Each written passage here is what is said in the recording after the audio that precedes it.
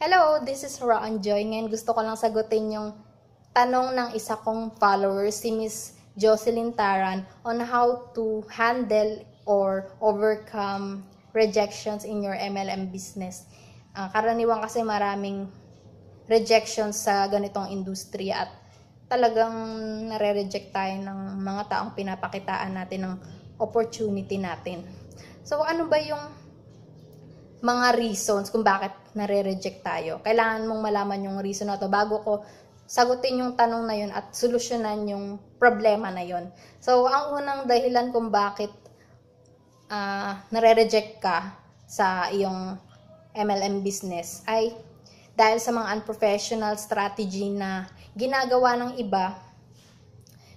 Halimbawa sa internet, nagpa-promote sila ng mga business nila sa Facebook uh, basta-basta na lang silang nagpo-promote ng business nila sa timeline nila. Minsan kapag magbubukas ka ng Facebook, puro networking na lang yung nakikita mo. Puro business nila na pinopromote nila sa timeline nila.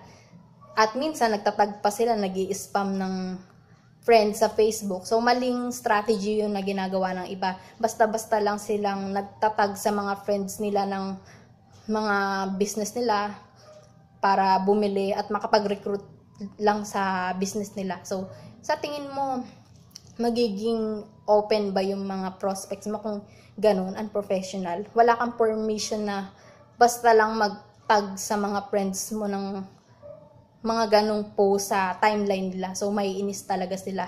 At ito pa yung isa pang unprofessional. Kapag yung iba, chinachat nila yung mga friends nila lahat ng friends nila sa Facebook at pinapakitaan nila kaagad ng opportunity nila. Kasi naranasan ko na yun, maraming mga friends ko na nagpi-PM sa akin sa Facebook na uh, hinahype nila ako na sumali sa business nila. So, kahit open-minded ako, ako mismo hindi ako magiging open sa ganung unprofessional strategy. So, wag mong gawin yung strategy na yon dahil hindi ka talaga makakapag-attract ng mga prospects na mag-join sa business mo. At pangalawa, lack of skills and knowledge yung na-experience mo. Kasi kulang ka pa sa mga kaalaman at hindi mo pa alam yung tamang strategy talaga na dapat mong gawin sa business mo. So, yun yung gusto kong ituro sa'yo ngayon dahil nauhuli ka na sa mga bagong strategy ngayon na dapat matutunan mo So, kailangan mo mag-invest sa sarili mo na matuto ka ng mga bagong strategy at dapat willing kang matuto.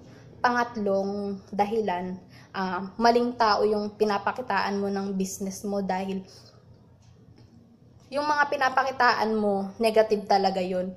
Uh, siguro yung mga tao na yun, walang desire na magkaroon ng financial freedom, time freedom, mas gusto na lang nila maging empleyado. So, yung mga ganong tao, hindi mo dapat pakitaan ng business mo. So, eto na, sagot, sasagutin ko na yung tanong na yun on how to handle rejections.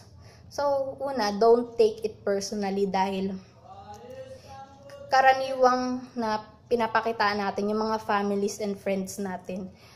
Uh, nire-reject ka nila sa business opportunity mo. Hindi ka naman nila personally na nire-reject yung sarili mo. Ang nire-reject nila sa'yo yung business na pinapakita mo sa kanila. Dahil naranasan ko yun nung na-reject ako ng mga family ko, especially yung parents ko. Nung first time kong ma-invite sa isang business opportunity sa MLM, nakita ko yung posibleng kikitain ko at nakita ko na the best talaga tong opportunity nito. So, pag uwi ko sa bahay namin, excited ako na ipakita to sa parents ko at sa buong mundo sa mga kaibigan ko. So, masyado akong na-excite. Nung sinabi ko sa kanila, bigla na lang silang negative na wag daw akong mag-join dito, scam yan. Kaya ni-negative nila ako, kaya hindi ko na tinuloy. So, wag mong ipapakita agad-agad sa kanila yung nakita mong business opportunity. Dahil yung posible na uh, pagkakita mo sa opportunity na yon hindi magiging ganun yung tingin nila. Magiging iba yung tingin nila dun sa sinasabi mong business opportunity. Iisipin nila na scam yun kaagad. So, pangalawa, uh, wag mong ipapakita ito sa maling tao.